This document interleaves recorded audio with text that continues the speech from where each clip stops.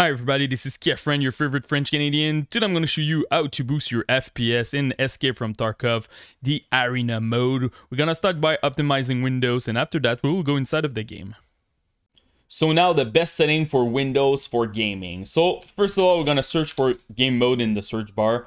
Make sure that game mode is activated for the past like year. It's pretty good. Uh, you're getting a, decent performance and you're going to make sure that all your resources are focused on the game that you're playing. For the Xbox Game Bar, I still recommend to deactivate this one, causing stuttering, crashing in some games. So I'm not a huge fan of the Xbox Game Bar. And for the capture, make sure that the background recording is at off and also the record uh, the recorded audio is at off. Another thing that I recommend, it's the hardware accelerated GPU scheduling. Make sure that you're searching for graphics setting you will need an NVIDIA card 1000 series or more recent. It will really help with bottlenecks. So if you have a 1050, 1050 Ti, 1060, even the 2060, you can expect a nice 2 to 5% boost. And also you can expect like less stuttering when you're using that. So I re really recommend to use that. Another thing that is really important, it's your driver. Make sure that you have the latest driver from AMD, NVIDIA, even Intel if you have an, iGPU on your processor. Um, so for an example here with AMD, you just click check for update and it's gonna show you if you have the latest one. You can do the same thing with NVIDIA. Another thing that I can recommend with the um, NVIDIA and AMD, they have uh, an image scaling uh, for the past like a couple of months. Um, for from AMD, it's called Super Resolution, and for NVIDIA, it's NIS. I have dedicated video to, who's gonna like show you how to use that and how to configure it. But to explain you quickly what it's about, uh, so you need to enable this. So for example, I'm playing uh, in 2K because my monitor in, is in 2K. I'm going inside of my game. I lower the resolution at 1080p, and the software will scale it back at 2K and with this process, I can save like 15, 20% in my FPS. Also, you can do it if you have like a 4K monitor and you want to do 1080p or 2K. Uh, you can expect a nice boost. The image quality will not be the same if you compare with native, but in some game it's working very well and you it's very tough to see the difference. So I, I recommend to, to use it if you're struggling with your FPS. So if you have an NVIDIA card, just go on your NVIDIA setting, go to control panel, open it, go to manage 3D setting and just use pretty much the setting that I'm currently using. Honestly, they're pretty much default. So the first one that you need to change is your low latency mode. If you have this technology, make sure that it's at on. The other one is your if you want to lock your FPS, uh, for an example, you have like a 170 Hertz monitor and you want to stay in your G-Sync ring, uh, range, sorry, you just put your uh, FPS here at like something like 167, something like that. You want to be under 170 Hertz to always stay in your G-Sync range. So if you want to do that, it will do that for all your game. It's a global setting over there. So I'm gonna unlock it and this is pretty much it. If you have access to the change ECC state, I recommend to uncheck it. This will slow your VRAM, so you don't want to use that. For change resolution, make sure that you're playing native. So you're if you have a 2K monitor, go with 2K. If you have a 1080p monitor, go with 1080p. And super important, look at your refresh rate. A lot of people are missing this step. They buy like a new screen and by default it's at 60. So use the uh, maximum refresh rate that is available on your uh, monitor. The last parameter will be your G-Sync. So I recommend if you want to use G-Sync, I recommend to, first of all, you need to enable it. And I recommend to use the enable for window and full screen. So if you're playing a game like in borderless mode, it will be applied. Also, you can select just one uh, display screen depending on whatever. If, if your second screen is not compatible with G-Sync, you will just push it to one monitor. Uh, me, I'm not using it. I have a 4090 uh, for my GPU, so I just want to unlock my FPS. So in majority of the game, I'm getting like 250 FPS, and um, my monitor refresh rate is at 170 Hertz. So I just want to lower my input lag, so that's why I just unlock everything, but it really depends on your situation. So this is pretty much it for NVIDIA. Another thing that I recommend, it's your energy profile. So write energy in your search bar, go to power option. Make sure that you're running something like balance or high performance. Um, on a de desktop computer, it should not be an issue, but if you're playing on a laptop, really make sure that you're using that or a special profile for performance uh, from your brand like Asus, Dell, or whatever.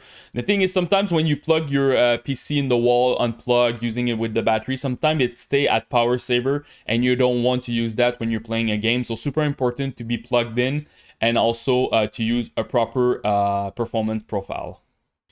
Another thing that I can recommend, it's the Intelligent Standby List Cleaner. This is a software made by the guy from DDU. Um, it's it's pretty amazing, honestly. Um, it will help if you don't have a lot of RAM in your PC. So if you have 4 gig of RAM, 8 gig, 12 gig, uh, after that, you should be fine. Windows is doing the job properly. So it will free memory and it's gonna make sure that it optimizes your standby list. So what I recommend normally, it's look at your total memory here. In my case, it's 32. Just divide it by 2. So for me, it's 16. Just press start and it will run automatically and you just lower the software like that and you're gonna make sure it's optimized. So it's a really good software and also it helps a little bit with uh, stuttering. So I really recommend to use that.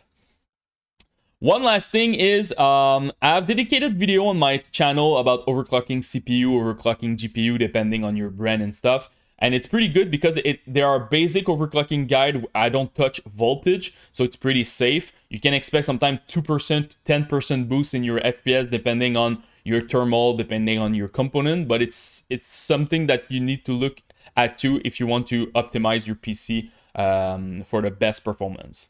So now let's go inside of the game.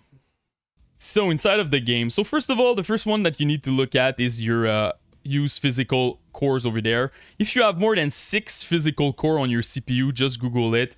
I recommend to using it. A lot of like all the news uh, CPUs are normally six, eight, even more physical cores. So super important to use that. After that, for the FOV, it's a question of preference. I like to play my game at 63. If you add more FOV, you're gonna lose a little bit of FPS because you need to render more in front of you. So again, question of preference over there, do some testing. For the head bobbing, I recommend to go minimum over there. Uh, less like noise when you're playing. You don't want your head bobbing like crazy when you're playing arena. So let's go with minimum. After that, for the graphics, screen resolution, play native depending on your monitor. So for me, it's uh, 1440p. Don't lower your resolution over there. The game looks too blurry. Uh, for the screen mode, make sure that you're playing full screen. Aspect ratio 16 by 9 again question of uh, of your monitor so if you have a native monitor 16 by 9 go 16 by 9 normally it's supposed to be fine over there and make sure of course that you're using the proper monitor after that, you have the texture quality. I recommend to go uh, with high if you have 4 gig and more of VRAM on your GPU. 3 gig medium and less than 3 gig go with low. Uh, it's not uh, it's not huge on your uh, on your VRAM this game, so you can definitely play at high if you have 4 gig of VRAM. For the shadow, I recommend to go with low. You can expect a nice 12% boost in your FPS over there. Uh, I know some people like to play medium. Better details when you see like shadow of uh, of an opponent or something like that. Me, I prefer FPS, and honestly, it will help a lot the shadow at low. So let's go with that. LOD quality, I like to play at 2.5. Uh, it's a lot more smoother the, the transition between the uh, object uh, quality um, but in arena honestly the map are not that big so if you're struggling with your fps definitely go with two over there if you're fine you look at your fps after the whole guide and it's still fine go at 2.5. Overall visibility is pretty huge also on your FPS. My recommendation is start at 1500, look at your FPS. If you're still struggling, go with 1000. Me, I prefer to play at 2000, but honestly, in Arena, it's not like Escape from Tarkov. Map are more smaller, and uh, honestly, at 1500, you should be fine with that. After that, you have some uh, upscaling technology uh, available, but I'm going to talk it uh, without it first. So if you don't have the DLSS and you don't want to use FSR, my recommendation is to play at off. I don't like anti-aliasing in this game. I feel like it's really blurry. Uh, the TAAI, honestly, it's very, very blurry. If you don't like to play without an anti without an, an anti-aliasing, sorry, go with FXAA. Uh, you will gain uh, some FPS versus TAA, and honestly, the game is not that bad. It's not too blurry. It's a basic anti-aliasing, but still, it's doing the job. And for the resampling, make sure that it's playing at 1x off. But if you want performance FPS, you should definitely use DLSS or FSR. So if you have an RTX card, my recommendation is go with quality. Don't go lower than that, that the game looks too blurry. You can expect 15 to 20% boost in your FPS. So it's pretty huge.